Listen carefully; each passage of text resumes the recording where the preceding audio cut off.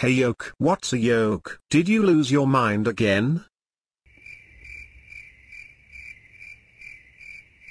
What's a mind? Never mind.